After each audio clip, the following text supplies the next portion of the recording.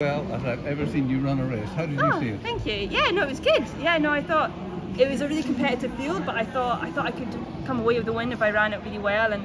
And yeah, I just had to kind of run my own race. Um, I don't know what time it was. I did it over the first 200, but I think it was pretty quick. And yeah, just ran my own thing. And when I got to the front of 200 to go, I thought I got to try and try and hold it and run as fast as I can. And then you started off slowly, then you gradually moved up, and then you had an awful lot left.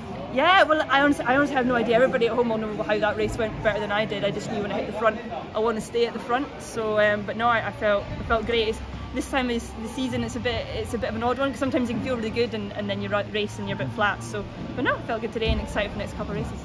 You don't think you chose the wrong distance for a Budapest?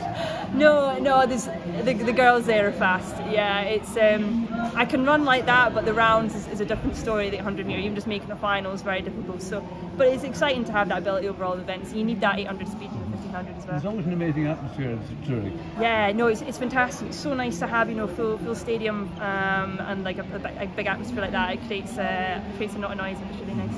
Yeah. And you're going to Brussels next week? yeah, Brussels 1500 and then closing out with Eugene 1500 as well. So yeah, a couple more left. Yeah, Thank you. thanks.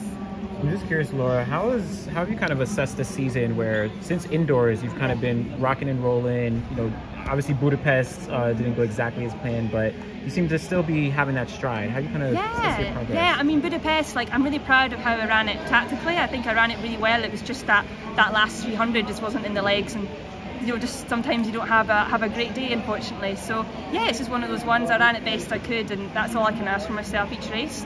Um, and I did that today, and, and it came away with the win. So yeah, I'm, I'm super happy. I know I'm really fit at this point in the season, and I'm excited for the next couple of races. Good job out there. Thank you.